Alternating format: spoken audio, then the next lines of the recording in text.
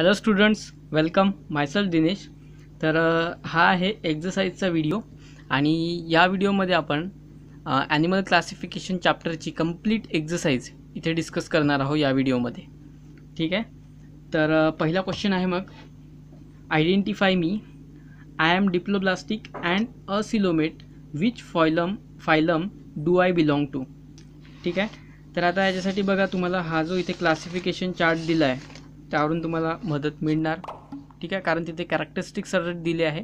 आणि इथूनसुद्धा तुम्हाला लक्षात येणार की काय कॅरेक्टरिस्टिक्स आहेत ॲनिमल्सचे विचारलं काय की I am diploblastic okay and a coelomate ठीक आहे? तर बघा मग इथून असिलोमेट कोणते आहे? तर तीनच फायलम्स आहेत की जे असिलोमेट आहे. पोरिफेरा निडॅरिया आणि प्लॅटियल मेंथेस ठीक आहे? त्यानंतर विचारलं आहे की आय एम डिप्लोब्लास्टिक ठीक आहे? आता इथे जर्म लेयर्सविषयी आलं नाही आहे मग आता ह्या तीन फायलममध्ये तुम्ही बघू शकता कारण असिलोमेट तर हे तीनच आहे. ठीक आहे? मग डिप्लोब्लास्टिक जर बघाल तर डिप्लोब्लास्टिक आहे निडॅरिया किंवा जे सिलेंट्राटा आहे ते. ठीक आहे? डिप्लोब्लास्टिक. ओके? तर हेच आपल्याला विचारलं आहे की आय एम डिप्लोब्लास्टिक आणि असिलोमेट. मग काय येणार आन्सर तर सिलेंट्राटा किंवा निडॅरिया. ठीक आहे? तर आन्सर येणार फायलम निडॅरिया किंवा फायलम सिलेंट्राटा. ठीक आहे? कारण त्यांच्यामध्ये डिप्लोब्लास्टिक आणि असिलोमेट कॅरेक्टर्स आहेत. सेकंड आहे my body is radially symmetrical water vascular system is present in my body I am referred as fish though I am not what is my name आता बघा हे जे वॉटर वस्क्युलर सिस्टीम आहे ही फक्त इकायनोडर्मॅटामध्ये असते. हे जे इकायनोडर्मॅटामधले मधले जे ॲनिमल्स आहेत त्यांच्यामध्ये फक्त वॉटर वस्क्युलर सिस्टीम असते. आता हे जर कॅरेक्टर बघाल तुम्ही तर इथे कुठल्याही कॅरेक्टरमध्ये हे जे वॉटर वस्क्युलर सिस्टीम आहे त्याचा कुठेही इथे उल्लेख केलेला नाही कुठेही इथे मेन्शन केलेलं नाही. तर हे जे कॅरेक्टर होतं हे तुमचे जे जुना सिलेबस होता तिथे तुम्हाला दिलं होतं की हे जे इकायनोडर्म्स आहेत त्यांच्यामध्ये असते वॉटर वस्क्युलर सिस्टीम ठीक आहे? आता वॉटर वस्क्युलर सिस्टीम जी आहे ती काय असते? तर ही बेसिकली जे अन्न पाणी आहे त्याची एका बॉडी पार्टकडून दुसऱ्या बॉडी पार्ट पार्टकडे ने आण करण्यासाठी ठीक आहे? ज्या आपण ज्याला आपण ट्रान्सपोर्टेशन म्हणतो तर ते करण्यासाठी वस्क्युलर सिस्टीम असते एखाद्या बॉडीमध्ये जसं की आता ह्युमन्समध्ये बघाल. आपल्यामध्ये ह्युमन्समध्ये बघाल तर ते काम जे आहे म्हणजे जे न्यूट्रियंट्स आहेत ते एका पार्टकडून बॉडीच्या दुसऱ्या पार्टकडे नेण्यासाठी. आपण कशाच्या मदतीने? आपल्याकडे आहे ब्लड ह्युमन्समध्ये ठीक आहे? तर जे जर तुम्ही प्लांट्समध्ये बघाल तर प्लांट्समध्ये आहे वस्क्युलर सिस्टीम फक्त वस्क्युलर सिस्टीम आहे प्लांट्समध्ये त्यांच्यामध्ये दोन टिश्यूज असतात. एक तुम्हाला माहिती आहे ते झायलेम आणि फ्लोएम ठीक आहे? तर झायलेम आणि फ्लोएम यांच्या मदतीने त्यांच्यामध्ये म्हणजे प्लांट्समध्ये ते वॉटर आणि फूड यांचं इकडे तिकडे नेआण म्हणजे ट्रान्सपोर्टेशन केलं जातं. तर तेच इकायनोडर्म हे जे असे ॲनिमल्स आहेत की ज्यांच्यामध्ये वॉटर वस्क्युलर सिस्टीम आहे म्हणजे पाण्याच्या मदतीने जे अन्न आणि फूड आहे ठीक आहे? त्यांची ने आण एका पॉ एका बॉडी पार्टकडून दुसऱ्या बॉडी पार्टकडे ठीक आहे? इथून जर समजा तयार होत असेल अन्न किंवा इथून जर आलं असेल शरीरात अन्न मग ते इथपर्यंत पोहोचवायचं आहे. तर त्यासाठी त्यांच्यामध्ये असते वॉटर वस्क्युलर सिस्टीम याच्यामध्ये इकायनोडर्मॅटामध्ये ठीक आहे? आता हे यांचं खूप इम्पॉर्टंट कॅरेक्टर आहे. कारण हे जे कॅरेक्टर आहे वॉटर वस्क्युलर सिस्टीम हे बाकी कुठल्याही ॲनिमल्समध्ये पाहायला मिळत नाही. फक्त इकायनोडर्मॅटामधले जे ॲनिमल्स आहेत ह्या फायलममधले तेच ॲनिमल्स यांच्याकडे वॉटर वस्क्युलर सिस्टीम आहे. ठीक आहे? त्यामुळे वॉटर वस्क्युलर सिस्टीम म्हटलं तर इकायनोडर्मॅटाच येतं. ठीक आहे? परंतु हे जे इम्पॉर्टंट कॅरेक्टर आहे हे तुम्हाला या कॅरेक्टर्समध्ये म्हणजे तुमचे जो नवीन सिलेबस आहे यात आलेलं नाही. ठीक आहे? तर हा जो क्वेश्चन आहे बेसिकली हा जो तुमचा जुन्या पुस्तकामध्ये क्वेश्चन होता तिथला जशाचा तसा उचलला आहे आणि इथे मांडला आहे. ठीक आहे? त्यामुळे वॉटर वस्क्युलर सिस्टीमसुद्धा तिथलं इथे आलं आहे परंतु ते इथे सिलेबसमध्ये नाही आहे तुमच्या. ठीक आहे? पण याचा आन्सर लक्षात असू द्या की इकायनो डर्मॅटा येतं. ठीक आहे? फायलम आहे इकायनो डर्मॅटा बरं बघा इथे काय विचारलं आहे आपल्याला? फायलम नाही विचारलं आहे आपल्याला ते विचारलं आहे इथे ॲनिमलचं नाव विचारलं आहे ठीक आहे? रेडिली सिमेट्रिकल आणि वॉटर वस्क्युलर सिस्टीमवरून लक्षात आलं की आपल्याला इकॅनोडर्मॅट आहे. कारण यांच्यामध्ये सुद्धा रेडियल सिमेट्री असते. ठीक? रेडियल सिमेट्री अडल्ट्समध्ये पाहायला मिळते. ठीक आहे? तर रेडियल सिमेट्रीसुद्धा आहे वॉटर वस्क्युलर सिस्टीमसुद्धा यावरून इकॅनोडर्मॅट आहे एवढं तर कन्फर्म झालं. पुढे काय आहे यामध्ये? की I am referred as fish though I am not what is my name मला फिश म्हटलं जातं जरी की मी फिश नाही आहे तर असं कुठलं ॲनिमल आहे मग यांच्यामध्ये? तर हा बघा स्टार फिश ह्याला फिश म्हटलं जातं. फिश म्हणजे मासा. ठीक आहे? आपलं ते माहिती आहे तुम्हाला. फिश म्हणजे मासा. परंतु हा मासा आहे का? नाही. ठीक आहे? कारण याच्या शेपवरून बघा तुम्हाला लक्षात येतं आहे हा एक मासा नाही आहे फक्त याला म्हटलं जातं की स्टार फिश म्हणून. ठीक आहे?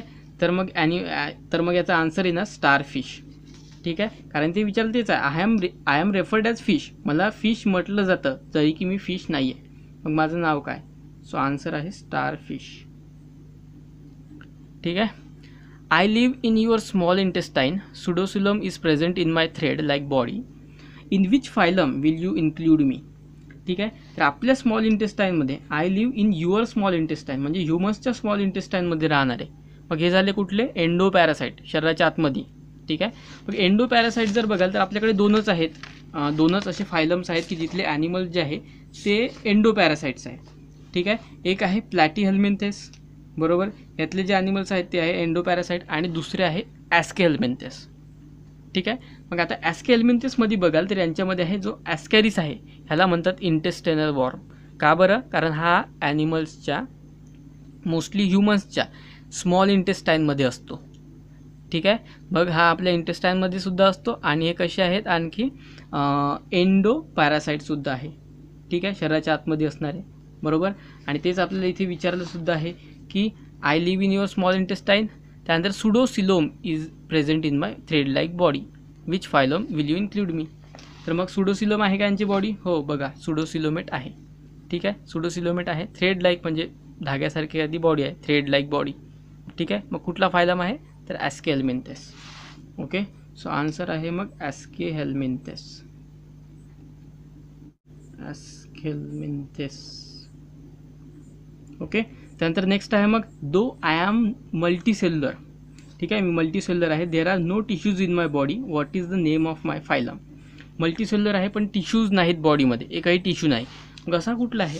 तर बघा आपल्याला माहिती आहे की मी तुम्हाला आधीसुद्धा सांगितलं आहे की सेल सेल असतात आपल्या बॉडीमध्ये त्यानंतर सेलपासून जुडून टिश्यू बनतात. ठीक आहे? सेलपासून टिश्यू टिश्यूनंतर ऑर्गन ऑर्गननंतर ऑर्गन सिस्टीम ठीक आहे? असेच हळूहळू ॲनिमल्स इव्हॉल्व्ह होत गेले. मग सगळ्यात आता बघा फक्त सेल्स आहे म्हटलं आहे टिश्यू वगैरे नाही आहे म्हटलं आहे बॉडीमध्ये ठीक आहे? टिश्यूज नाही आहे. म्हणजेच तुम्हाला लक्षात आलं की जे सगळ्यात आधीचे ॲनिमल्स आहेत ते आहे मग. त्यांच्यामध्येच फक्त सेल आहे. ओके कारण टिश्यू फॉर्म नाही झाले याचा अर्थ सगळ्यात आधीचे ॲनिमल जे सगळ्यात आधी पृथ्वीवर आले असतील ते. मग असे जर बघाल तर आपल्याकडे दोनच फायलम आहे सगळ्यात आधी आलेले. पोरीफेर आहे आणि निडारी आहे. ठीक आहे? त्यानंतर ओके म्हणजे एवढं लक्षात आलं असेल तुम्हाला. ठीक आहे? मग पोरीफेरा आणि निडारी यांच्यात जर बघाल तुम्ही तर इथे तुम्हाला दिलं आहे बघा की मल्टीसेल्युलर आहे आणि टिश्यू आर नॉट फॉर्म ठीक आहे? सेल्युलर ग्रेड ऑर्गनायझेशन एक्झाम्पल आहे फायलम पोरीफेरा ठीक आहे मग याचा आन्सरसुद्धा येतं पोरीफेरा कारण हा मल्टीसेल्युलर तर आहे परंतु टिश्यू फॉर्म झालेला नाही. ठीक आहे? फक्त सेल्सनी मिळून तो मल्टीसेल्युलर झाला आहे. ठीक आहे? मग याचा आन्सर येतं फायलम पोरीफेरा ठीक आहे? ओके ठीक आहे. त्यानंतर सेकंड क्वेश्चन आहे write the characters of each of the following animals with the help of classification chart आता क्लासिफिकेशन चार्ट कुठला आहे? तर हा जो तुमच्या हा जो आहे हा आहे क्लासिफिकेशन चार्ट ठीक आहे? आता मी तुम्हाला शिकवताना सुद्धा सांगितलं हा चार्ट तुम्हाला माहिती असला पाहिजे. यावरून खूप काही तुम्हाला माय डायरेक्ट तुम्ही सांगू शकता कॅरेक्टर्स काय आहे. ठीक आहे? तर ह्या कॅरे ह्या चार्टच्या बेसिसवर तुम्हाला हे जे ॲनिमल्स इथे आहेत ह्यांचं क्लासिफिकेशन करायचं आहे. ठीक आहे? तर मग पहिलं आहे बघा बाथ स्पॉन्ज ठीक आहे? आता स्पॉन्जेस सगळे जे स्पंजसारखे ॲनिमल आहेत ते सगळे पोरिफेरामध्ये येतात. ठीक आहे? तर आता याचा आन्सर लिहिताना तुम्हाला इथे चार सरळ पॉईंट्स कर घ्या. म्हणजे जसं आन्सर लिहाल तुम्ही इथे. सगळ्यात आधी तर लिहा क्लास कुठला आहे. त्यानंतर लिहा इथे फायलम किंवा सब फायलम असतील तर ते लिहा. ठीक आहे? फायलम किंवा सब फायलम जर असेल तर सब फायलम लिहा. त्यानंतर फायलम आणि त्यानंतर किंगडम ठीक आहे? तर अशा पद्धतीने क्लासिफिकेशन लिहायचं. किंगडम हे झाल्यानंतर मग कॅरेक्टर्स लिहायचे. ठीक आहे? कारण तुम्हाला तिथे सर्व क्लासिफिकेशन म्हटलं आहे मग तुम्हाला क्लासिफिकेशन लिहावं लागेल. ठीक आहे? जसं की पहिलं ॲनिमल आहे पोरीफेरा ठीक आहे? तर पोरीफेरा काय आहे? फायलम आहे. मग इथे लिहायचं. आता क्लास तर नाही आहे त्यामुळे नाही. मग फायलम फायलमच्या पुढे लिहायचं पोरीफेरा किंगडम आहे ॲनिमॅलिया ठीक आहे? आपण हे कशाच्या बेसिसवर लिहितो इथेच बघा. हा जो चार्ट आहे ह्याच चार्टच्या बेसिसवर आधी याचा फायलम लिहायचा पॉरिफेरा त्यानंतर किंगडम कुठला आहे तर ॲनिमेलिया ठीक आहे? आणि नंतर कॅरेक्टर्स लिहायचे. मग कॅरेक्टर्समध्ये सांगायचं की स पोरिफेरा आहे ठीक आहे? बाचपॉन पोरिफेरामध्ये येतो. मग सांगायचं सेल्युलर ग्रेड ऑर्गनायझेशन पहिलं कॅरेक्टर कॅरेक्टरमध्ये एक नंबर द्यायचा आणि पहिले लिहायचं की cellular grade organization second number द्यायचा असिमेट्रिकल बॉडी थर्ड नंबर द्यायचा असिलोमेट्स ठीक आहे? तसेच आणखी इथले सुद्धा काही कॅरेक्टर्स तुम्ही टाकू शकता. ठीक आहे? फोर्थ नंबर द्यायचा ऑस्टिया आणि ऑस्कुला प्रेझेंट असतात पोर्स फिफ्थ पॉईंट त्यांचं काम काय आहे ते? ठीक आहे? म्हणजे असे असे तुम्ही एक एक कॅरेक्टर्स यात ॲड करू शकता. ठीक आहे? त्यानंतर सेकंड यात ॲनिमल दिलं आहे बघा. सेकंड आहे ग्रास हॉपर आता ग्रास हॉपर येतो फायलम आर्थ्रोपोडामध्ये ठीक आहे? तर फायलम आर्थ्रोपोडा तर इथेसुद्धा अगेन तुम्हाला इथूनच लिहावं लागेल. ठीक आहे? फायलम आर्थ्रोपोडा जर बघाल तर ते येतात युसिलोमेट्समध्ये मग इथे सांगायचं क्लास तर नाही आहे कुठला मग फायलम आहे. फायलम सांगायचा आर्थ्रोपोडा किंगडम किंगडम ॲनिमॅलिया त्यानंतर कॅरेक्टर्स लिहायचे. तर आर्थ्रोपोडाचे जे कॅरेक्टर आहे ते लिहा. मग it has eucoelomate body bilateral symmetry त्यानंतर जे ऑर्गनायझेशन असेल ते लिहा. ठीक आहे? त्यानंतर त्यांचे काही कॅरेक्टर जे इम्पॉर्टंट कॅरेक्टर्स आहेत ते. ठीक आहे? जसं की ट्रिप्लोब्लास्टिक आहे बायलॅटरल सिमेट्री आहे. ठीक आहे? त्यानंतर कायटिनस एक्झोस्केलेटन प्रेझेंट आहे सेगमेंटेड बॉडी आहे. तर हे सर्व कॅरेक्टर्स एक एक एक एक पॉईंट लिहायचे तिथे. ठीक आहे? त्यानंतर नेक्स्ट नेक्स्ट आहे रोहू ठीक आहे? तर बघा रोहू जर बघाल तर त्या ती आता क्लासेसमध्ये येते ठीक आहे? जो की आहे पायसेस ठीक आहे? पायसेस या क्लासमध्ये जे फिश आहे म्हणजे ती रोहू तर ती येते. मग इथे सुद्धा आता आपल्याला लिहिताना लिहावं लागेल आधी क्लास ठीक आहे? मग क्लासमध्ये येणार पायसेस त्यानंतर लिहावं लागेल सब फायलम सब फायलम आहे वर्टिब्राटा ठीक आहे? आणि फायलम येणार कॉर्डेटा आता ठीक आहे? फायलम येणार कॉर्डेटा आणि किंगडम ॲनिमॅलिया त्यानंतर कॅरेक्टर्स म्हणून हेडिंग द्या आणि एक एक कॅरेक्टर लिहा. ठीक आहे? आता यांचे कॅरेक्टर सरळ तुम्ही इथूनच लिहू शकता काय जे कॅरेक्टर आहे. ते सगळे सांगायचे की दे आर कोल्ड ब्लडेड त्यानंतर they live in marine and fresh water ठीक आहे? त्यानंतर they have paired and unpaired fins ठीक आहे? एक्झोस्केलेटन म्हणजे इथलेच तुम्ही जे जे कॅरेक्टर्स आहेत ते छोटे छोटे एक एक एक दोन एक दोन शब्दात लिहू शकता. ठीक आहे? खूप मोठं लिहायचं नाही सिंपल साधं लिहायचं जसं की दे हा these are cold blooded animals झाला. ठीक आहे? Second their body is spindle shaped बस एवढं लिहिलं तरी चालेल. ठीक आहे they have paired and unpaired fins. ठीक आहे बाकी सांगायची गरज नाही. They have exoskeleton in the form of scale and endoskelet endoskeleton is cartilaginous or bony. Respiration occur with gills. झालं. एवढंच लिहायचे चार पाच पॉईंट्स ठीक आहे? त्यानंतर नेक्स्ट ऑर्गन पेंग्विन. आता पेंग्विन जो आहे तो येतो एव्जमध्ये. ठीक आहे? जे एव्ज आहेत म्हणजे बर्ड्स ज्यात होते सर्व त्यामध्ये येतो हा पेंग्विन ॲनिमल. मग पेंग्विनसाठी इथे आधी क्लास लिहायचा. क्लास येणार इथे. एव्ज येणार त्यानंतर सब फायलम वर्टिब्राटा फायलम येणार कॉर्डेटा ॲनिमॅली आणि कॅरेक्टर्स कॅरेक्टर तुम्ही लिहू शकता. ठीक आहे? तसेच बाकीचे. आता फ्रॉग जो आहे फ्रॉग येतो ॲम्फिबियामध्ये ठीक आहे? क्लास ॲम्फिबियामध्ये तर तसंच बाकी जसं लिहिलं आपण क्लास त्यानंतर सब फायलम त्यानंतर फायलम ओके तर अशा पद्धतीने लिहायचं. लिझार्ड लिझार्ड येते तुमची. जे रेप्टिलिया आहे त्यामध्ये. क्लास रेप्टिलिया त्यानंतर subphylum Vertebrata phylum Chordata kingdom Animalia आणि कॅरेक्टर्स. कॅरेक्टर्स तुम्ही इथून लिहायचे. ठीक आहे? कॅरेक्टर दिले छोटे छोटे जे जे इम्पॉर्टंट पॉईंट्स आहेत ते लिहायचे. ठीक आहे? त्यानंतर लिझार्ड लिझार्ड झालं आहे त्यानंतर एलिफंट एलिफंट येतो. इथे मॅमॅलियामध्ये ओके तर इथे क्लास येणार मॅमॅलिया इम्पॉर्टंट म्हणजे कॅरेक्टर जे मी तुम्हाला शिकवताना सांगितले आहे तेच इम्पॉर्टंट किंवा जे जे तुम्हाला वाटते ते इम्पॉर्टंट लिहायचे. जसं की आता तुम्ही रेप्टिलियामध्ये बघाल तर हे ट्रू टेरेस्ट्रियल ॲनिमल आहे पहिले. हे झालं एक इम्पॉर्टंट कॅरेक्टर कोल्ड ब्लडेड आहे. क्रिपिंग मुवमेंट ठीक आहे? स्किन ड्राय किंवा स्केली असते. ठीक आहे? तर असे तुम्ही जे कॅरेक्टर्स आहेत ते सांगू शकता. Digits are provided with claws चार किंवा पाच कॅरेक्टर्स लिहायचे मेनली ठीक आहे? तसंच मॅमॅलियामध्ये ममरी ग्लान्स आर प्रेझेंट त्यानंतर दीज आर वॉर्म ब्लडेड त्यानंतर body is divided into this this ठीक आहे? Digits are provided with nails claws or hooves आणि exoskeleton is in the form of hairs or fur ठीक आहे? आणि एक्झाम्पलसुद्धा तुम्ही वाटल्यास लिहू शक इथे लिहिलं तर नाही तरी चालले कारण ऑलरेडी एक्झाम्पल दिलं आहे हे. ठीक आहे? एलिफंट मॅमेलियामध्ये येतो मग. आणि जेलीफिश जेलीफिश जी आहे ती येते निडॅरियामध्ये. ठीक आहे? जो सेकंड फायलम आहे निडॅरिया त्यामध्ये येते जेलीफिश ठीक आहे? तिला ऑर ऑरेलियासुद्धा म्हणतात. तर निडॅरियामध्ये. अगेन इथे आता क्लास वगैरे काही येणार नाही. ठीक आहे? सरळ फायलम त्यानंतर किंगडम आणि कॅरेक्टर्स ठीक आहे? तर अशा पद्धतीने लिहायचं आहे. त्यानंतर थर्ड क्वेश्चन आहे. What write in brief about the progressive changes in animal classification ठीक आहे? आता यात तुम्हाला बेसिकली जी क्लासिफिकेशनची हिस्ट्री आहे ती सांगायची ॲनिमल क्लासिफिकेशन कसं झालं काय झालं ते सगळं सांगायचं आहे. ठीक आहे?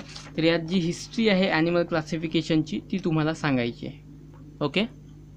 तर आता बघा क्वेश्चन काय आहे आपला की कशी काय प्रोग्रेस होत गेली ॲनिमल क्लासिफिकेशनमध्ये ठीक आहे म्हणजे प्रोग्रेसिव्ह आपल्याला विचारलं आहे सरळ इथे जे क्वेश्चन आहे तो आहे की write in brief about the progressive changes in animal classification progress कशी काय होत गेली? कसं काय ते पुढं पुढं होत गेलं ॲनिमल क्लासिफिकेशन ठीक आहे? तर बेसिकली आपल्याला इथे मग हिस्ट्री जी आहे तीच सांगायची आहे. कसं काय होत गेलं सुरुवातीला कसं झालं त्यानंतर पुढे पुढे ते कसं होत गेलं?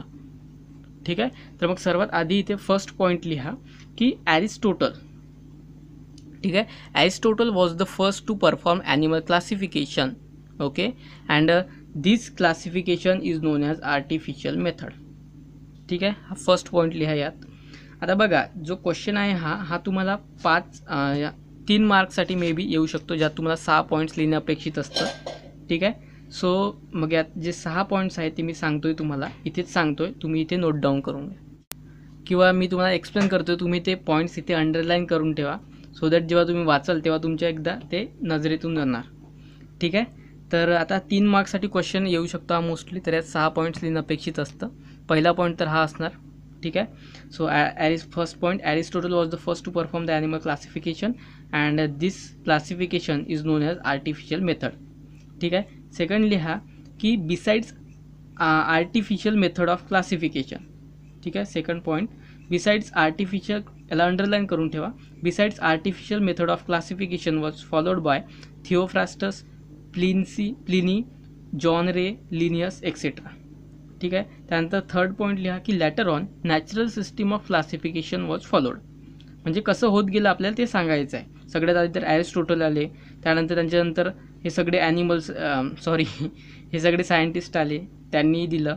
त्यानंतर natural system of classification was followed third point ठीक आहे? त्यानंतर फोर्थ लिहा की natural system of classification was based on various criteria like body organisation type of cells chromosome biochemical properties etcetera ठीक आहे? हा झाला फोर्थ पॉईंट त्यानंतर फिफ्थ पॉईंट लिहा की बाय दिस टाईम ठीक आहे ना? System of classification based on evolution was also brought into practice ठीक आहे? And was used by Dobzhansky and Mayr हा फिफ्थ पॉईंट होणार. आणि सिक्स्थ पॉईंट लिहिल्यानंतर recently Carl Woese has also propose the animal classification ठीक आहे? तर अशा पद्धतीने हे सहा पॉईंट्स तुम्ही या क्वेश्चनमध्ये लिहू शकता. ओके त्यानंतर नेक्स्ट फोर्थ क्वेश्चन आहे. What is the exact difference between grades of organisation and symmetry ठीक आहे? ग्रेड ऑफ ऑर्गनायझेशन जे आपण बघितले आणि सिमेट्री हे दोन्ही क्रायटेरिया आहे जे आपण ॲनिमल क्लासिफिकेशनसाठी यूज केले होते. ठीक आहे? तर मग यांच्यात नेमका फरक काय आहे? एक्झॅक्ट डिफरन्स बिटवीन ठीक आहे? नेमका काय फरक आहे? ठीक आहे? म्हणजे आपल्याला इथे प्रॉपर असं डिफरन्शिएट नाही करायचं जसं की एक कॉलम हा आणि एक कॉलम हा असं नाही करायचं आहे. तर नेमका काय फरक आहे ते आपल्याला एक दोन ओळीत सांगायचं आहे इथे. म्हणजे एक दोन पॉईंट सांगायचे नेमकं काय आहे ते. ठीक आहे? तर बघा मग याचा आन्सरसुद्धा आता बघा जसं की तुम मी यासुद्धा आधीचे जे एक्झरसाईजचे व्हिडिओ त्या सर्वांमध्ये जवळपास सांगितलं आहे की हे जे क्वेश्चन्स आहे यांचे मी तुम्हाला रेडीमेड आन्सर्स म्हणजे जे एक प्रेझेंटेशन किंवा नोट्स वगैरे असे काही पुरवणार नाही आहे कारण जेवढं तुम्ही जे आन्सर्स लिहून बघाल जेवढी त्यांची प्रॅक्टिस कराल काय क्वेश्चन काय तिथे आन्सरमध्ये अपेक्षित आहे किती पॉईंट्स लिहायचे कसे लिहायचे हे जोपर्यंत तुम्ही स्वतः प्रॅक्टिस करणार नाही तोपर्यंत तुम्हाला ते चांगल्या पद्धतीने सोडवता येणार नाही. किंवा क्वेश्चन लिहिता येणार नाही. आन्सर्स लिहिता येणार नाही. त्यासाठी मी हे आन्सर्स देखील तुम्हाला तोंडी सांगणार.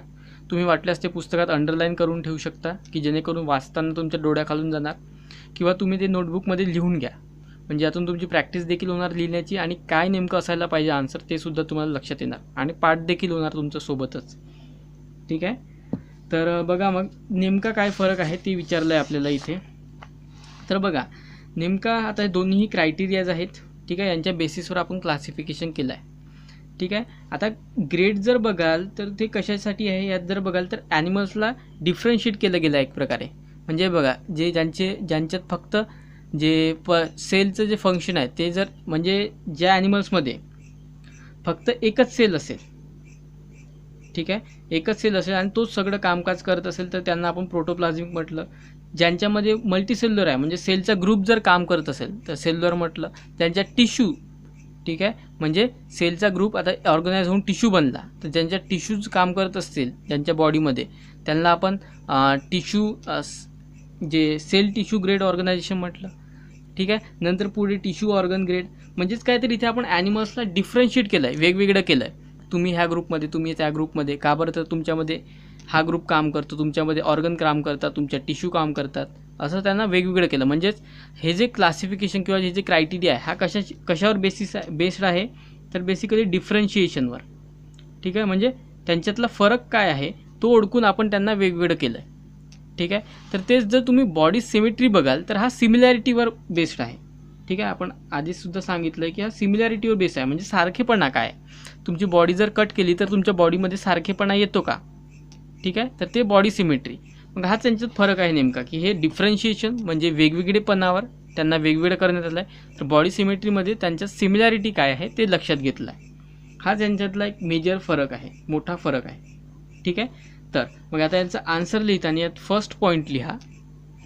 कारण याचं वेल प्रिस्क्राईब्ड असा आन्सर तुमच्या पुस्तकात नाही आहे सो मी तुम्हाला सांगणार आहे काय आन्सर असायला पाहिजे. मी लिहून घ्या.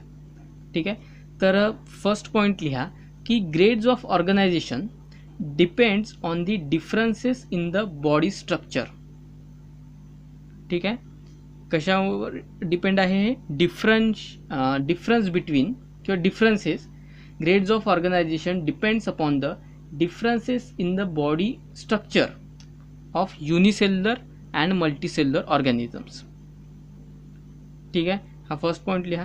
त्यानंतर सेकंड पॉईंट लिहा की बॉडी सिमेट्री काय आहे आता? ठीक आहे so body symmetry depends upon the similarities in the body after passing and imaginary किंवा after taking and imaginary section through a specific plane of animal bodies ठीक आहे second point body symmetry depends upon the similarities in the body after taking and imaginary section through specific plane of their bodies ठीक आहे तर हे दोन points ठीक आहे मग आता डिफरन्शिएशन सिमिलॅरिटी हा पॉईंट क्लिअर झाला इथे. आता नेक्स्ट एक पॉईंट यात आणखी ॲड करा की ग्रेड्स ऑफ ऑर्गनायझेशन आता यावरून तुम्हाला लक्षात काय येतं? की grades of organisation gives us an idea about the function performing entity of the body second point grades of organisation gives us an idea about the function performing entity of the body म्हणजे बघा इथे perform कोण करत आहे for perform function performing entity entity म्हणजे एखादी गोष्ट. ठीक आहे? एंटिटी म्हणजे जे काही काम एखादी गोष्ट करते त्याला एंटिटी म्हणतात. ठीक आहे? So for function performing entity जसं की बघा इथे सिंगल सेल यांच्या बॉडीमध्ये काम करणार. यांच्यामध्ये टिश्यू काम करणार. यांच्यामध्ये सॉरी यांच्यामध्ये टिश्यू काम करणार. यांच्यात फक्त सेलच करणार यांच्यामध्ये सुद्धा. यांच्यात सिंगल सेल करणार यांच्यात ग्रुप ऑफ सेल करणार. यांच्यात मग टिश्यू काम करतो. ठीक आहे? ज्यांना आपण सेल टिश्यू ग्रेड ऑर्गनायझेशन म्हटलं आहे त्यानंतर ऑर्गन टिश्यू ऑर्गनमध्ये यांच्यामध्ये ऑर्गन्स काम करतात. ठीक आहे? तर यांच्यामध्ये ऑर्गन सिस्टीम काम करते. म्हणजेच काय? तर यांच्यामध्ये जी काम करणारी एंटिटी आहे ठीक आहे? जी काम करणारी एंटिटी आहे त्याच्याविषयी आपल्याला माहिती पडतं की याच्यात सेल काम करतात याच्यात टिश्यू काम करतात. ठीक आहे? So it gives an idea about the about the entity which perform different function in their bodies ठीक आहे? ओके? तर तेच बॉडी सिमेट्रीमध्ये आपल्याला कशाची माहिती भेटते किंवा कशाची आयडिया येते की नेमकी त्यांच्या बॉडीमध्ये सिमेट्री कशाची आहे? ठीक आहे? सिमेट्री कशी आहे? म्हणजे असिमेट्रिक आहे रेडियल आहे बायलॅटरल आहे. कशी आहे त्यांच्या बॉडीची सिमेट्री त्याविषयी आयडिया मिळते. ठीक आहे? तर यात लिहा की इट गिव्ज किंवा body symmetry gives us an idea about the symmetry of body of animals ठीक आहे? Gives us an idea about the symmetry of body of animals हा सेकंड पॉईंट म्हणजे आता टोटल आपल्याकडे चार पॉईंट झाले आहे. ठीक आहे? तर मग नंतर इथे सरळ सांगा की grades of organisation we have animals किंवा थर्ड नेक्स्ट पॉईंट लिहा. फिफ्थ पॉईंट होणार हा की different animals show different types of grades of organisation namely मग नावे सांगा. प्रोटोप्लाझमिक सेल्युलर ग्रेड त्यानंतर tissue grade tissue cell cell tissue tissue organ त्यानंतर ऑर्गन सिस्टीम तसंच नेक्स्ट पॉईंट लिहा मग sixth point different animal show different body symmetry namely पहिलं सांगा मग की असिमेट्रिकल बॉडी त्यानंतर रेडियल बॉडी त्यानंतर बायलॅटरल सिमेट्री ठीक आहे? असिमेट्रिक बॉडी बॉडी किंवा तुम्ही इथे सिमेट्रीसुद्धा म्हणू शकता. रेडियल सिमेट्री बायलॅटरल सिमेट्री ठीक आहे? तर असे सहा पॉईंट्स तुम्हाला इथे लिहायचे आहे. ओके त्यानंतर नेक्स्ट क्वेश्चन फिफ्थ आहे. आन्सर इन ब्रीफ ठीक आहे? थोडक्यात उत्तर लिहा. तर आता बघा इथे तुम्हाला इथले जे क्वेश्चन्स आहेत तुम्हाला दोन मार्क्ससाठी किंवा तीन मार्क्ससाठी येऊ शकतात. दोन मार्क्ससाठी आलं तर त्यात चार पॉईंट्स लिहावे लागतील तुम्हाला. ठीक आहे? त्यात कमीत कमी तीन किंवा मॅक्सिमम पाच. ठीक आहे? म्हणजे चारच लिहिले पाहिजे असं काही नाही. तुम्ही तीन पॉईंट्स किंवा एखादं मोठं असेल तर पाच पॉईंट्स लिहिले तरी चालतात. तसंच जे तीन मार्क्ससाठी क्वेश्चन येतात तर त्यामध्ये तुम्हाला सहा पॉईंट्स लिहावे लागतात. ओके कमीत कमी पाच जास्तीत जास्त सात. ठीक आहे? तर या दरम्यान असे लिहावे लागतात पॉईंट्स ठीक आहे? आणि पॉईंट्समध्येच नेहमी आन्सर लिहायचं सुद्धा. ठीक आहे? तर इथे आन्सर मी तुम्हाला जस्ट जसं आधी सांगितलं तसं डिक्टेट करणार आहे. तुम्ही पुस्तकात अंडरलाईन करा किंवा नोटबुकमध्ये लिहून घ्या. ठीक आहे?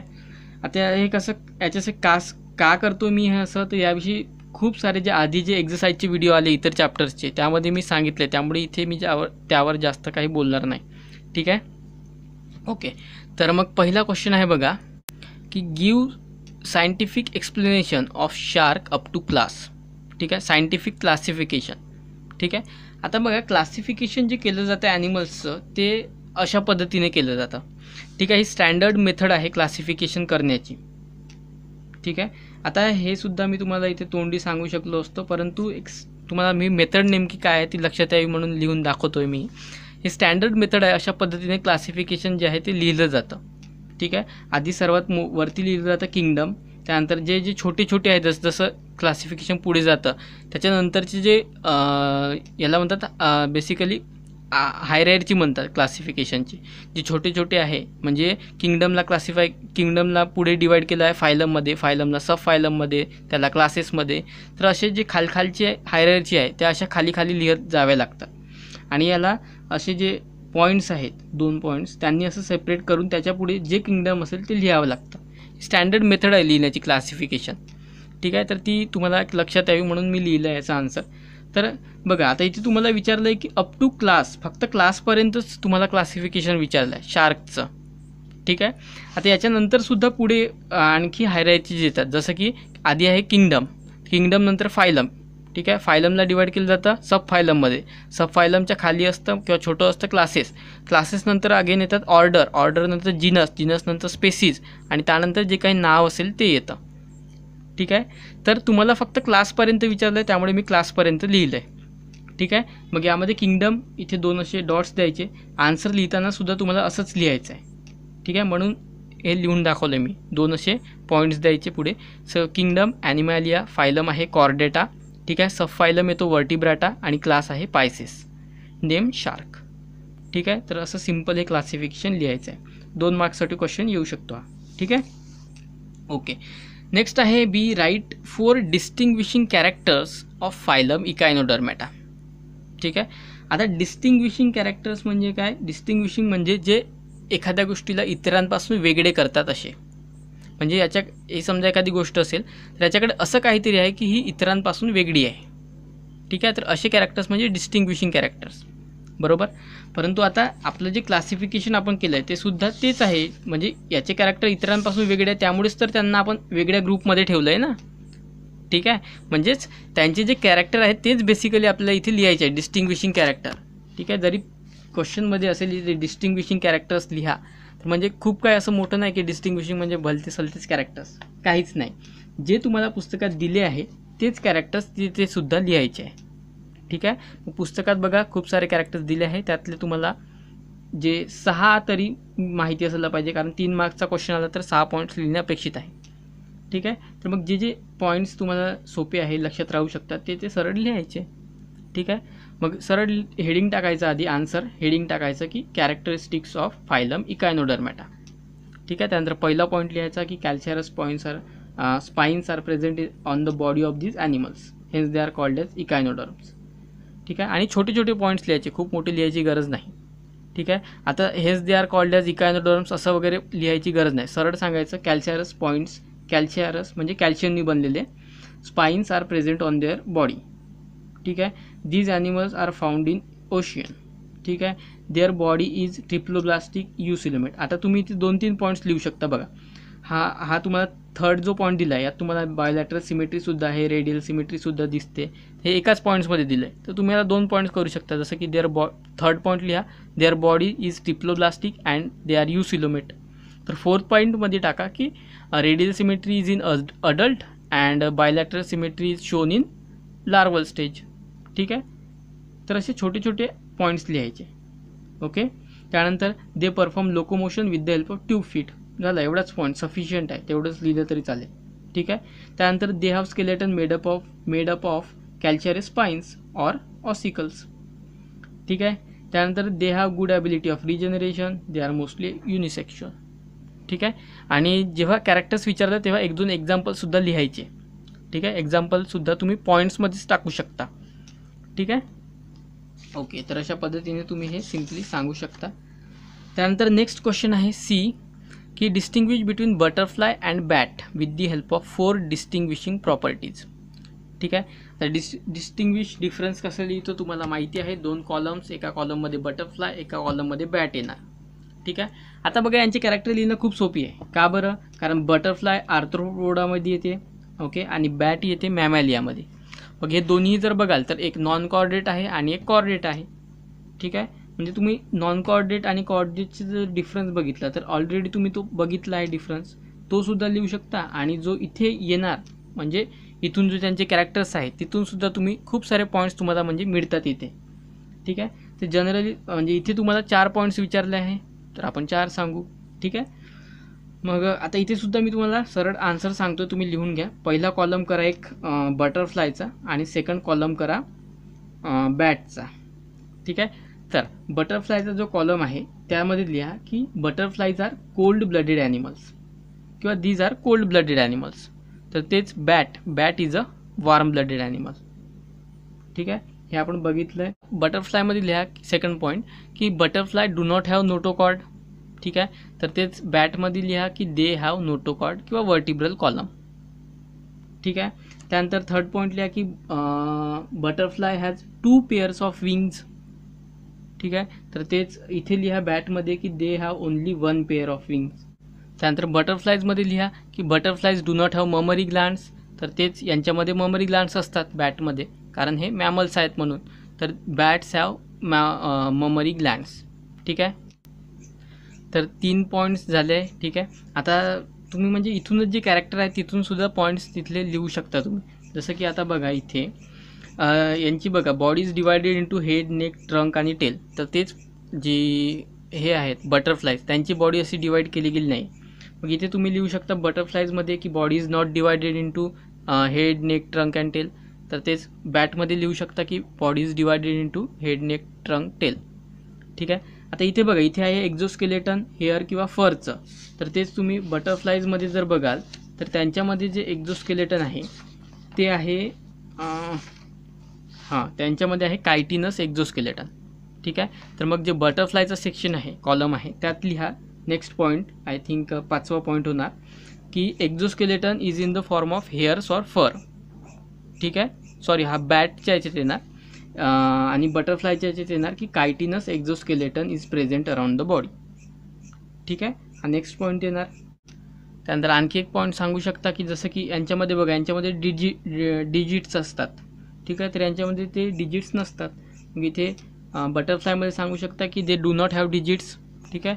तर इथे मॅमॅलियामध्ये सांगू शकता की they have digits provided with nails claws or hooves ठीक आहे? आणि एक पॉईंट एक पॉईंट सांगू शकता की एक्झाम्पलचा ठीक आहे? लिहायचे तर आपले चारच पॉईंट्स होते.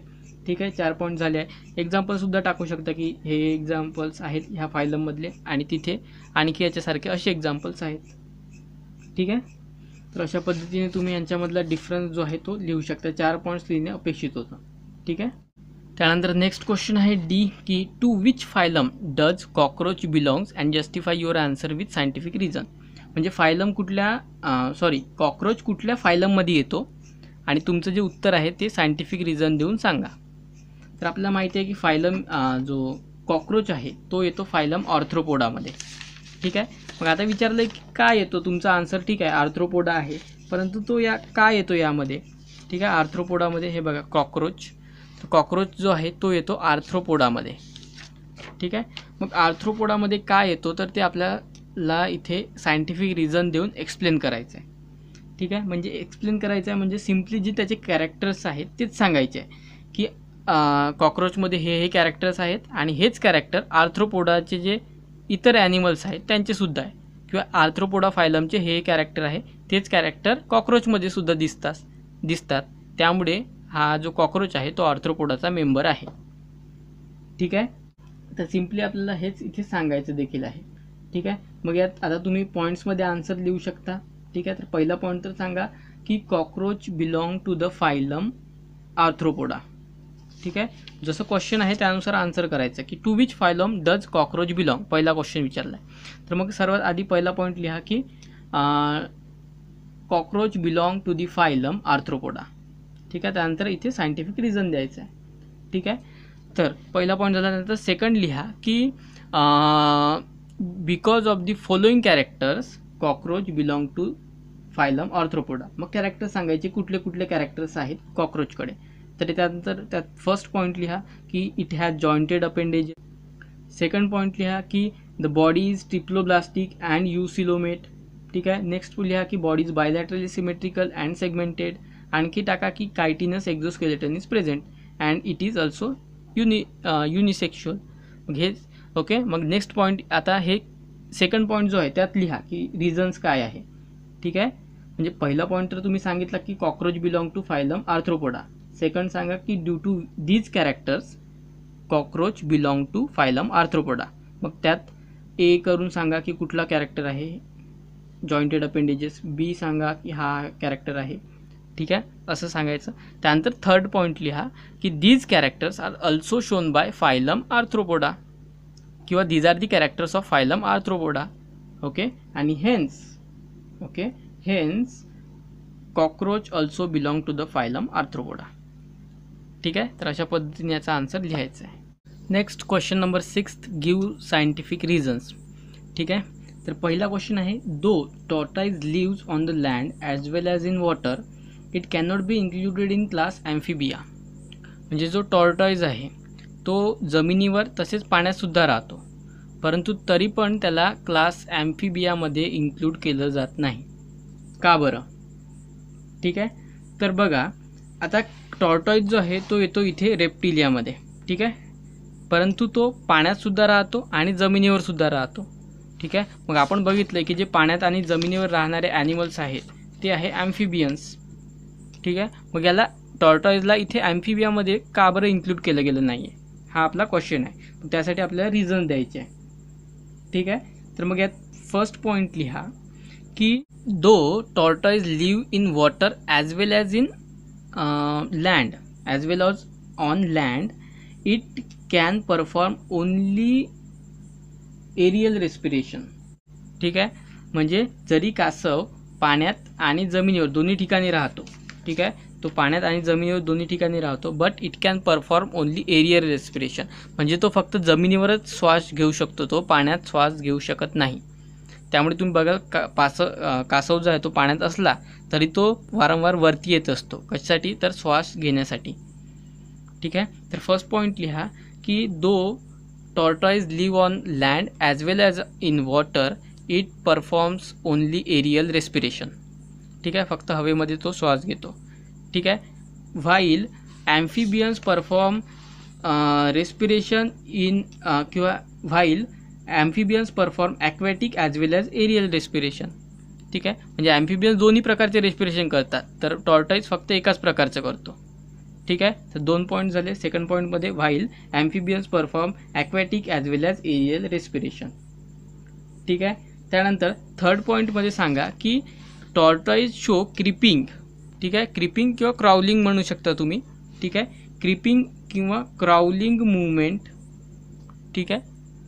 टॉर्टॉईज शो क्रिपिंग किंवा तुम्ही क्राउलिंग घेऊ शकता. कुठलंही घ्या तुम्हाला जे वाटेल ते. क्रिपिंग और crawling movement okay which is not shown by amphibians म्हणजे टॉर्टॉईज तो मुवमेंट दाखवतो क्रिपिंग किंवा क्राउलिंग जे आपण बघितले. ठीक आहे? परंतु ॲम्फिबियन्स तशी मुवमेंट किंवा तसे चालत नाही ते. ठीक आहे? So tortoise show creeping movement which is not shown by amphibians ठीक आहे? तीन पॉईंट झाले. Hence tortoise is included in tortoise is not included in class Amphibia कारण तो त्यांच्यासारखे कॅरेक्टर्स दाखवत नाही आहे म्हणून. ठीक आहे? सो चार पॉईंट झाले. चार पॉईंट लिहिणं अपेक्षित आहे. कारण हा दोन मार्क्सचा दोन मार्क्सचा क्वेश्चन आहे म्हणून. त्यानंतर सेकंड क्वेश्चन uh, आहे की our body irritates if it comes in contact with jellyfish ठीक आहे आपली बॉडी इरिटेट होते जेव्हा ती जेलीफिशच्या कॉन्टॅक्टमध्ये येते तेव्हा. ठीक आहे इरिटेट म्हणजे तुम्ही खाज म लागणे म्हणू शकता किंवा एक प्रकारची चूरचूर भाजणे जे म्हणतात ना ते असतं बेसिकली ठीक आहे इरिटेशन होणे. तर आप जेव्हा आपण जेलीफिशच्या कॉन्टॅक्टमध्ये जेलीफिशला जर टच केलं आपण तर आपल्याला असं वाटतं आपल्या बॉडीला तर असं का बरं होतं? तर हे होतं निडोब्लास्टमुळे. ते सेल्स असतात त्यांच्याकडे आपण शिकलो हे सुद्धा. ठीक आहे?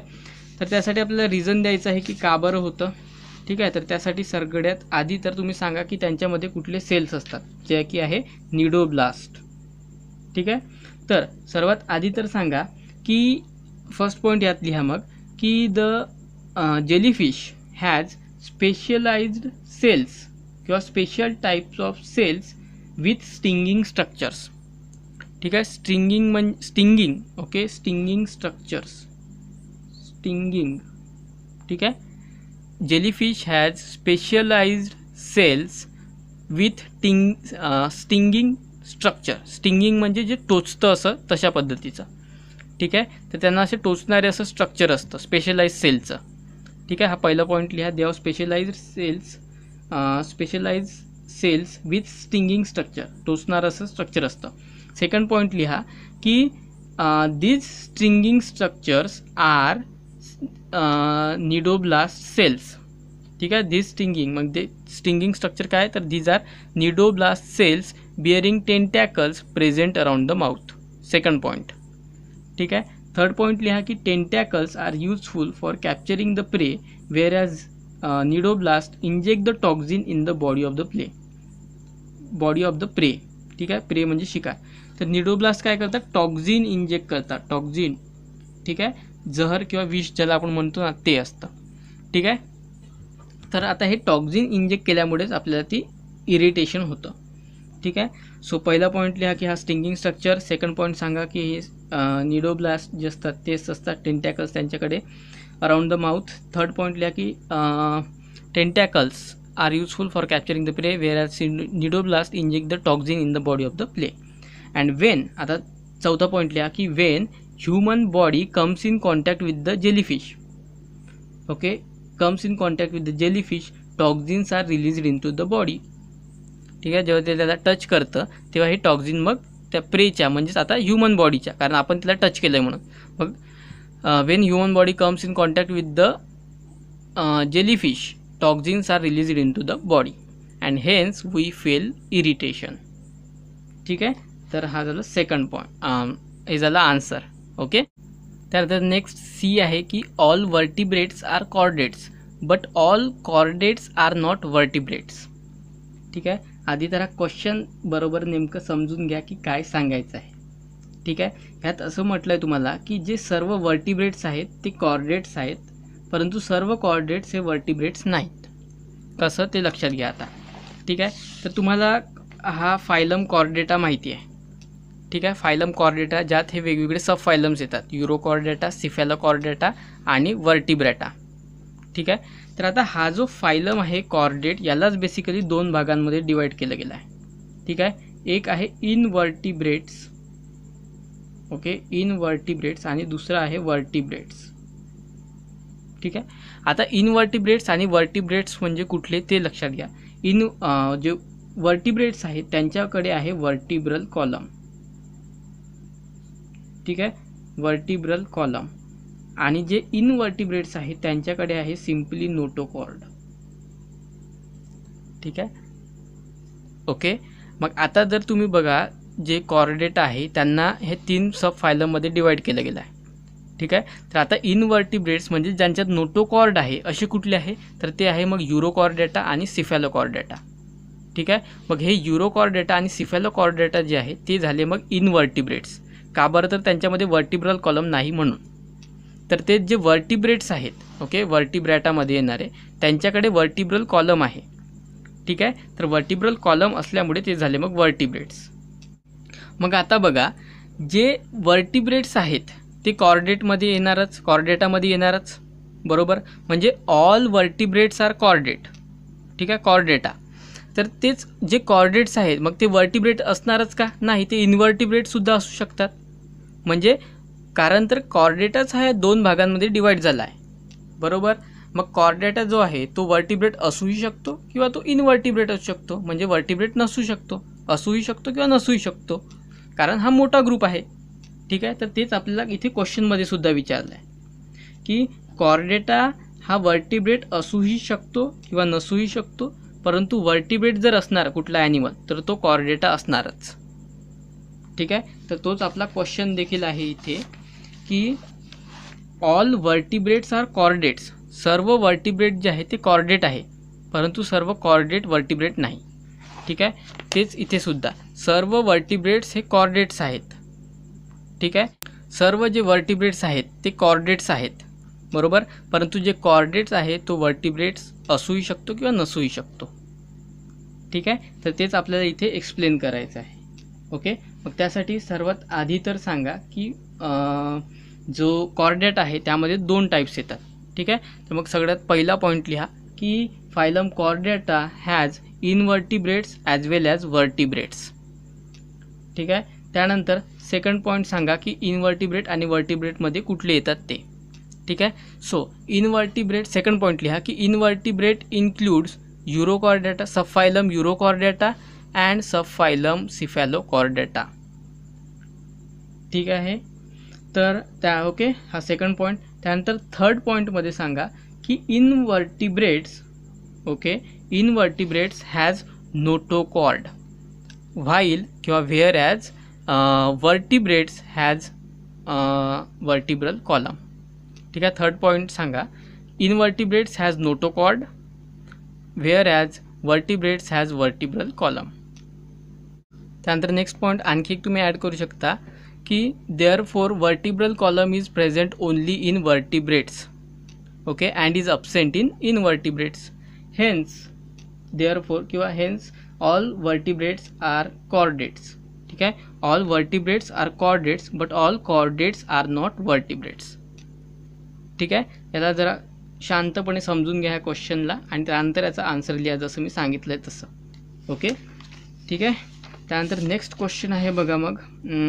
Balanoglossus is a connecting link between non chordates and chordates ठीक आहे? बॅलॅनोग्लॉसस हा कॉर्डेट्स आणि नॉन कॉर्डेट्समधला कनेक्टिंग लिंक आहे. ठीक आहे? तर आता नॉन कॉर्डेट्स आणि कॉर्डेट्समध्ये फरक काय आहे तर तुम्हाला माहिती आहे की नॉन कॉर्डेट जे आहे त्यांच्यामध्ये नोटोकॉर्ड नाही तर जे कॉर्डेट्स आहेत त्यांच्यामध्ये नोटोकॉर्ड आहे. ठीक आहे? हाच त्यांच्यामधला एक मोठा फरक आहे. तर बॅलॅनोग्लॉसस आपल्याला माहिती आहे की याच्यामध्ये पहिल्यांदा आपल्याला नोटोकॉट दिसला तोही अर्ध्या भागातच होता. आणि म्हणूनच त्याला कनेक्टिंग लिंकसुद्धा म्हटलं जातं. ठीक आहे तर यासाठी आपल्याला सायंटिफिक रिझन द्यायचं आहे. ठीक आहे? ओके तर मग सगळ्यात आधी तर यात सांगा की नोटोकॉ जे कॉर्डेट्स आहे आणि नॉन कॉर्डेट्स आहे त्यांच्यात साम्यता काय आहे? ठीक आहे? म्हणजे नेमकं काय फरक आहे त्यांच्यामध्ये दोघांमध्ये? ठीक आहे? तर यात मग फर्स्ट पॉईंट सांगा की non chordates do not have notochord okay पहिल्या पॉईंटमध्ये non chordate do not have को notochord whereas chordates have notochord ठीक आहे? त्यानंतर सेकंड पॉईंट लिहा की Balanoglossus is an animal which has notochord ठीक आहे? Balanoglossus is an animal which has notochord in proboscis region only ठीक आहे? फक्त प्रोबोसिस जो रिजन आहे एवढा भाग त्यातच फक्त नोटोकॉर्ड आहे. ठीक आहे? त्यानंतर नेक्स्ट थर्ड पॉईंट लिहा की but Balanoglossus belong to the phylum Hemichordata ठीक आहे? Which is the phylum of non chordates ठीक आहे? जो की नॉन कॉर्डेट्सचा फायलम आहे. परंतु त्याच्यामध्ये कॉर्डेटचे कॅरेक्टर दिसत आहे. ठीक आहे? हा झाला थर्ड पॉईंट सो तर मग फर्स्ट पॉईंट सांगा की non chordates have do not have notochord whereas chordates have notochord second point की Balanoglossus is an animal which has notochord in proboscis region only ठीक आहे? Proboscis region only and then third point सांगा की Balanoglossus belong to the phylum Hemichordata which is which belongs to the non chordates which belong to non chordates hence Balanoglossus shows characters of both non chordates as well as chordates therefore Balanoglossus is a connecting link between non chordates and chordates ठीक आहे? त्यानंतर next E e आहे body temperature of reptiles is not constant रेप्टाईलचं body temperature constant नसतं ते बदलत असतं. का बरं? तर तेच तुम्ही एव्ज आणि मॅमल्स बघाल यांचं टेम्परेचर कॉन्स्टंट असतं. का बरं? कारण ते वॉर्म ब्लडेड आहेत म्हणून. तर ते जे रेप्टाईल्स आहेत त्यांचं बॉडी टेम्परेचर कॉन्स्टंट नसतं. का बरं? तर ते कोल्ड ब्लडेड आहेत म्हणून. ठीक आहे? तर का बरं नसतं? तर ते कोल्ड ब्लडेड आहे. त्याच्यासाठी रिझन द्यायचं आहे आपल्या कारण द्यायचं आहे. ठीक आहे? तर मग यात पहिला पॉईंट टाका की reptiles are cold blooded animals ठीक आहे? Reptiles are cold blooded animals second point टाका की these animals can not control their body temperature हे त्यांचं बॉडी टेम्परेचर कंट्रोल करू शकत नाही. का बरं? तर ते कोल्ड ब्लडेड आहे म्हणून. ठीक आहे? हा सेकंड पॉईंट सांगा these animals can not control their body temperature third सांगा की as the outside temperature changes म्हणजे बाहेरचं ठीक आहे? So as the outside temperature changes their body temperature also changes ठीक आहे? देअर फोर ठीक आहे? मग चौथा point therefore body temperature of reptiles is not constant ठीक आहे? तर हे अशा पद्धतीने तुम्ही लिहायचं आहे. ओके त्यानंतर question number seven answer the following questions by choosing correct options ठीक आहे? तर यांचं ऑप्शन करेक्ट जे आहे ते आपलं सिलेक्ट करायचं so which special cells are present in the body of sponges Porifera ठीक आहे तर यांच्यामध्ये असतात कॉलर सेल्स ठीक आहे आपण हे बघितलं आहे तर आन्सर आहे collar cells second B which of the following animals body shows bilateral symmetry तर आता बायलॅटरल सिमेट्री जर बघितलं तर ती अर्थवॉर्म शो करतो. ठीक आहे आता हे कॅरेक्टर्स तुम्ही पुस्तकात दिले आहे तिथून बघा. ठीक आहे त्यात एक्सप्लेन करण्यासारखं असं काहीच नाही. सी आहे which of the following animals can regenerate its broken part its broken body part ठीक आहे? तर आन्सर आहे स्टारफिश कारण त्यांच्यामध्ये रिजनरेशनची कॅपॅसिटी असते. ठीक आहे? आपण हे बघितलं आहे and bat is included in which class तर बॅट असते मॅमॅलियामध्ये ठीक आहे? Mammalia so answer is Mammalia okay त्यानंतर नेक्स्ट क्वेश्चन आहे कंप्लीट द फॉलोइंग चार्ट ठीक आहे? आता चार्ट दिला आहे ज्यात तुम्हाला इथे ज बॉडी कॅव्हिटी इथे जर्म लेअर आणि इथे फायलम ठीक आहे? तर आता बघा हा जो चार्ट इथे पुस्तकात असा आला आहे एक्झाममध्ये तुम्हाला असंच येणार असं काही नाही. इथे तुम्हाला बॉडी कॅव्हिटीच्या ऐवजी तुम्हाला बॉडी सिमेट्रीसुद्धा येऊ शकतं किंवा इतर कुठले कॅरेक्टर ठीक आहे? त्यामुळे हे जे जे मेन क्रायटेरिया आहे ॲक्च्युली जे आपण बघितले ज्यांच्या बेसिसवर हे सगळं क्लासिफिकेशन केलं गेलं आहे तर ते क्रायटेरिया सर्व क्लासेस फायलमसाठी तुम्हाला माहिती असले पाहिजे. ठीक आहे? तर बघा मग बॉडी कॅव्हिटीसुद्धा अब्सेंट आहे आणि जर्म लेअरसुद्धा फायलम दिलं आहे बघा फायलम पोरिफेरा फायलम पोरिफेरासाठी बॉडी कॅव्हिटी कशी आहे आणि जर्म लेअर कशी आहे? तर हे तुम्हाला माहिती असायला पाहिजे.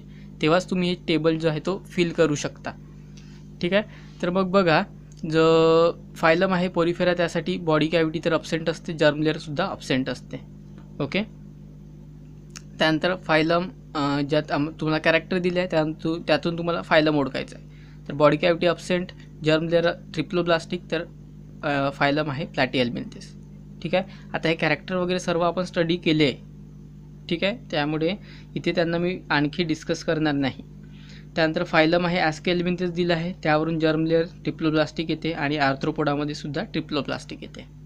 ठीक आहे? तसंच आणखी एक चार्ट दिला आहे जो तुम्हाला कंप्लीट करायचा आहे. आता इथे जरा वेगळं आहे. इथे तुम्हाला टाईप दिला आहे म्हणजे जे सब क्लासेस आहेत किंवा सॉरी क्लासेस आहेत किंवा जे सब फायलम्स आहे ते दिले आहे कॉर्डेटामधले आणि त्यांचे कॅरेक्टर विचारले आहे एक एक कॅरेक्टर लिहायचं आहे आणि एक्झाम्पल द्यायचं आहे. ठीक आहे? तर आता बघा इथे तुम्हाला कॅरेक्टर जे मी इथे लिहिले हेच लिहिले पाहिजे असं काहीही नाही. तुम्ही इतर कॅरेक्टरही लिहू शकता. फक्त ते कॅरेक्टर कॉमन नसावे. ठीक आहे? एवढंच. जसं की सायक्लोस्टोमॅट आहे. ठीक आहे? तर यात मी कॅरेक्टर लिहिले जॉ लेस माउथ विथ सकर ठीक आहे? आणि एक्झाम्पल आहे पेट्रोमायझान तर एक्झाम्पलसुद्धा बघा आता तुम्ही हेच लिहिले पाहिजे असं काही नाही. जे एक्झाम्पल आणखी दिले आहे पुस्तकातले त्यातलं जे तुम्हाला लक्षात राहतं ते तुम्ही लिहू शकता. ठीक आहे? कॅरेक्टरसुद्धा जे तुम्हाला लक्षात राहील ते तुम्ही लिहू शकता. टाईप आहे सायक्लोस्टोमॅटा तर त्यात बघा आता कॅरेक्टर इथे खूप सारे दिले आहे तुम्हाला. ठीक आहे? यातला जो पहिलं कॅरेक्टर आहे की mouth jawless mouth provided with sucker हे लिहिलं आहे मी. ठीक आहे? तुम्ही इतरसुद्धा लिहू शकता. ठीक आहे? फक्त ते सारखं नसावं. जसं की पेअर्ड अपेंडेजेस आर अब्सेंट आता हे कुणामध्येच नाही. तर तसं तुम्ही लिहू शकता. ठीक आहे? एक्झोस्केलेटन इज जिनस एंडोस्केलेटन ठीक आहे? तर आता हे इथे पायसेसमध्ये सुद्धा असतं. त्यामुळे असे कॅरेक्टर नका लिहू. जे यांच्यासाठीच आहे फक्त तसे लिहा. जसं की jawless mouth provided with sucker हे यांच्यामध्येच आहे फक्त. तर तसे कॅरेक्टर्स लिहा. ओके त्यानंतर कॅरेक्टर गिल रेस्पिरेशन तर हे फक्त पायसेसमध्ये असतं. त्यामुळे टाईप आहे पायसेस एक्झाम्पल एक्झाम्पल तुम्ही आणखी कुठलंही लिहू शकता. त्यानंतर ॲम्फिबियन्समध्ये एरियल आणि ॲक्वॅटिक रेस्पिरेशन ठीक आहे? Aerial as well as aquatic respiration character example frog त्यानंतर व्हेल व्हेल तर मॅमेलियामध्ये सो टाईप होणार मॅमेलिया आणि मॅमेलियामध्ये ममरी ग्लँड्स हे कुणामध्येच नसतात. हे त्यांचं special character so mammary gland त्यानंतर कॅरेक्टर दिलं आहे पॉयक्युलोथर्म्स आता पॉयक्युलोथर्म दोनच आहेत. ठीक आहे? आता बघा इथे पॉयक्युलोथर्म्स दिलं आहे तर तुम्ही इथे दोन्हीही लिहू शकता. कुठले तर पॉयक्युलोथर्म जे आहे ते एक तर रेप्टिलियासुद्धा येतात आणि त्यामध्ये पायसेससुद्धा येतात. ठीक आहे? जे पायसेस आहेत ते कोल्ड ब्लडेड ॲनिमल्स ठीक आहे? पायसेससुद्धा कोल्ड ब्लडेड आहे. मग तुम्ही हे सुद्धा लिहू शकता तिथे पायसेस आणि त्याचं एक्झाम्पल किंवा जे आ, काय आपले रेप्टिल रेप्टाईल्स आहेत ते सुद्धा लिहू शकता आणि त्याचं एक्झाम्पल परंतु पायसेस आधीच इथं आलं आहे त्यामुळे आपण घेतलं नाही रेप्टाईल्स घेतलं आहे तुम्ही ते सुद्धा टाकू शकता कारण एक्झाममध्ये तुम्हाला हेच येणार असं काही नाही एक्झॅक्ट ठीक आहे? सो ते सुद्धा तुम्ही लिहू शकता. त्यानंतर स्केच लेबल अँड क्लासिफाय आता इथे डायग्राम काढायचे आहे. मी तुम्हाला काढून दाखवून माझी प्रॅक्टिस करून काही होणार नाही. तुम्ही जितक्यांदा काढाल तुम्ही जितक्यांदा प्रॅक्टिस कराल तेवढी तुमची चांगली प्रिपरेशन होणार. ठीक आहे? सो हे सगळं तुम्ही काढून बघा. सगळ्या पुस्तकातल्याच डायग्राम आहेत तुमच्या. त्याचे लेबलसुद्धा पुस्तकातच दिले आहे. ठीक आहे? ओके तर हे तुम्ही तिथून काढून प्रॅक्टिस करावी. आणि त्यानंतर इथे लेबल द फॉलोइंग डायग्राम दिले आहे. त्यांना लेबलिंग करा. तर यांचेसुद्धा लेबलिंग तुमच्या पुस्तकात आले आहे. फक्त डायग्राम जराशा वेगळ्या आहे. तर तुम्ही समजून तिथले काढू शकता इथे. म्हणजे लेबलिंग फक्त नावच द्यायचे आहे त्यांना. आता हे बघा तुम्हाला जो डायग्रामचा जो क्वेश्चन येतो ना तो दोन मार्क्ससाठी येतो. ठीक आहे? दोन मार्क्ससाठी येतो एक्झाममध्ये. कुठलीही डायग्राम असो तुम्हाला दोन मार्क्ससाठीच असणार ती एक्झाममध्ये. ठीक आहे? आता त्यातला जो हाफ मार्क असतो तो असतो तुमच्या डायग्रामला. ठीक आहे? म्हणून कुठलीही डायग्राम असो ती कितीही चांगली असो तुम्ही काढायची जेवढी गरजेची आहे तेवढीच. ठीक आहे? कारण डायग्रामला जो आहे तो दोन मार्कपैकी फक्त हाफ मार्क असतो. आणि बाकी जो तुमचा दीड मार्क आहे तो तुमचा असतो लेबलिंगला. ठीक आहे? तुम्ही त्याला नावं किती देता त्याच्यावर डिपेंड असतं. ठीक आहे? त्यामुळे तुम्हाला दोन मार्कची डायग्राम आली तर त्या पूर्ण वेळ तो डायग्राम काढण्याचा सुंदर डायग्राम असतात तर खूप मार्क भेटणार असं वगैरे काही नसतं. ठीक आहे? तुम्ही म्हणजे जो चेक करणारा टीचर आहे त्याला समजलं पाहिजे नेमकी तशी डायग्राम असावी. Okay okay. त्याला समजलं पाहिजे की हा हत्ती आहे तर हत्तीची डायग्राम आहे.